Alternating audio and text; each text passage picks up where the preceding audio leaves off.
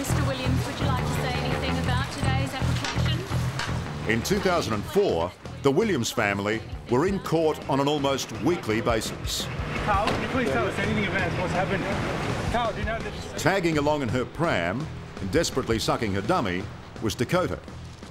You can see those pictures of your mum sort of scurrying away and uh, tucking you under her arm. Did you ever ask your mum, you know, what's going on? How hmm. come all these people are pointing cameras at us? No, not really. No? No, which is surprising. I never really asked. I don't know why, I just didn't. Perhaps all those visits to court rubbed off more than anyone realised. Because ironically, 14 years later, Dhakota's dream is to become a criminal lawyer. I was doing work experience with a lawyer. He was a good friend of my dad's, so he was like good to work with as he knew my family and he knew me since I was little. So I would go into courts and watch cases and it all just seemed really interesting. I was just really intrigued in it all. Is it more difficult, uh, do you think, to follow that path with, with the way you've been brought up? Um, no, I don't think so. I just think it would make it probably better because I would um, already have these supportive people around me, all the lawyers, things like that, the people my mum knows, my dad knew, so it would make it a lot easier. Except that you would be absolutely on the right side of the law. Yeah. Yep, Carl Williams is her dad and Roberta Williams is her mum. But that doesn't mean that she can't go along and make a great future for herself and become, like we said, a prosecutor or a um, criminal lawyer. Something good. Yeah, what are we going to do? Not allow her to be a member of the bar because she's Roberta and Carl Williams' daughter? That'd be dis- discrimination, wouldn't it? It's March 23, 2004, and Carl is yet again in court. The Williams family are out in force. There's Dhakota's mum, her uncle Andrew, even Dhakota's grandma turns up. Oh, of course, I over the moon. Should never have been there in the first place. Carl parades his daughter in front of the media scrum. But by that afternoon, Dhakota's uncle Andrew was dead, shot by another underworld figure, Mick Gatto, in self-defence. My brother, as far as I'm concerned. That's it. Yeah. You liked him a lot, didn't you? Loved Andrew. Andrew was my everything. Yeah, he was my everything. We were very, very close. How close? Close, not as others would like to say, um, and their misconceptions of our relationship. But yeah, we were very close, very close, did everything together.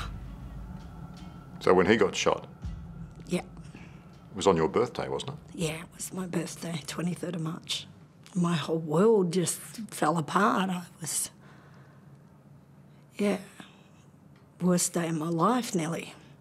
Did you say to Carl then, listen, this is getting out of control? We sort of went our separate ways, kind of then. In June 2004, three months after Andrew's murder, Carl was arrested again, and this time charged with conspiracy to murder. I don't know. I'm going to speak to the lawyers now to find out. Eventually, he was charged with four murders, although police suspected him of more. In 2007, he pleaded guilty to three of them and was sentenced to 35 years jail. This, in our view, makes him one of the worst serial murders in the history of Victoria. I would visit my dad, and that was just like a normal thing. What, every weekend going to jail? Yeah. And you just thought as a kid, what, this is what all kids do? No, I didn't think that. I just thought for me, like, that's just normal. Dhakota was just three when she started visiting her dad in jail. She has no memory of her father ever living at home. How did you explain to her, as a mum, Yeah. that her dad was in jail? I didn't. I never did, Liam. I never um, explained anything. I just went with the flow and She must have said at some point, hey, mum, how come no, we're going to this prison? no, she never did. I knew he wasn't home. I knew where he was, but it just didn't really cross my mind to think that of a time when he would be home. What do you remember most about visiting him in jail? I remember one time there used to be a whiteboard in one room, and I would just play teachers, things like that. And what sort of things did he say to you on those visits? Make sure I'm going to school, um, brushing my teeth, being nice to my mum. He would always be really pedantic with that. Make sure I'm being really nice to my mum, treating her well. That was the main thing. Do you recall ever saying, Dad, why can't you come with us? Oh, I remember one time I was like planning it. I was like, let's get a helicopter and we'll put it on the roof and you can come with us. And That would have gone down a treat, wouldn't it? yeah. At one point, both Carl and his dad, Dhakota's grandfather George, found themselves together in the big house. Pretty sure I visited them both at the same time once.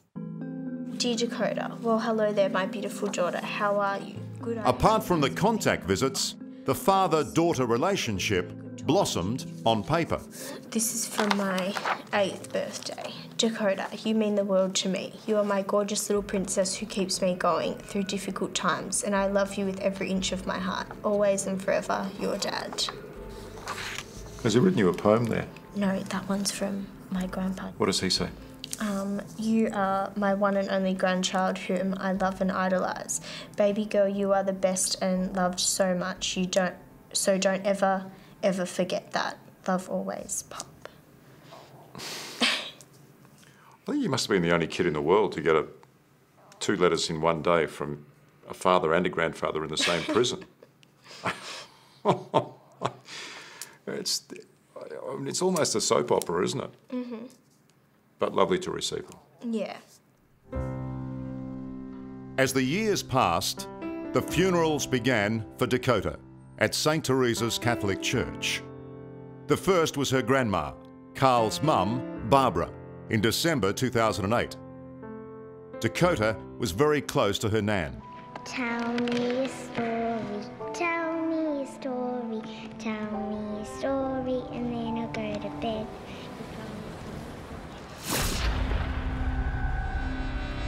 16 months later, in April 2010, Carl was murdered in Barwon Prison's maximum security unit by fellow prisoner Matthew Johnson.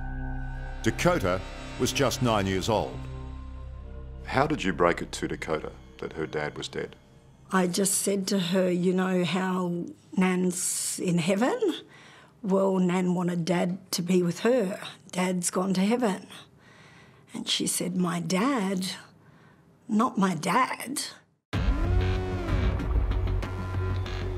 On the day of her dad's funeral, Dhakota and her family arrived in a Hummer.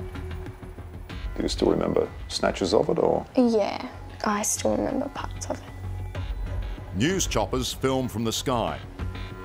Hundreds of Gawkers turned up on the footpath There was a ton of media there. Yeah, they were all standing on things to like see what was going on. Streets were closed and camera crews lined the perimeter of the church. The funeral was extraordinary. The gold casket, the media, it was like a requiem for the mob. Yeah, it was insane. How did It was Dhakota insane. react? Well, we kind of didn't look around at what was going on. I, I can say, in all honesty, I went to the church yesterday and can't even remember Carl's funeral. In all honesty, I can't remember. What have you got there? A picture of your mum and dad? Oh, me and my dad. It's this footage of nine year old Dhakota striding solemnly from the church with a photo of herself and her dad that symbolises the futility of the gangland war. The notoriety, the drugs, the gangland stuff, the, your life, has it all been worth it? No. No. I hear people say often, do you miss the money? Do you. No, I wouldn't take it back for the world. Destroyed my life, destroyed my world. and I wouldn't take it back for nothing on this earth. So if you had your time over again, I'd do things very, very differently. you wouldn't want to be part of it. No. The only great thing is my kids, I've got them and they keep me moving forward. But I didn't pick you as someone who would have regrets. yeah, not usually, but in this, I've got to look at it like that because look at all that's happened. Regrets not only for myself, for others. Coming up, Dhakota's search for answers. Everyone like deserves to know the truth. It's been eight years since Carl was murdered in the maximum security unit here at Barwon Prison. Who ordered the hit on Carl? Me and Mum like discuss it all the time. I always say to her like it's just still so odd what happened. It just doesn't make sense to me. What do you think happened?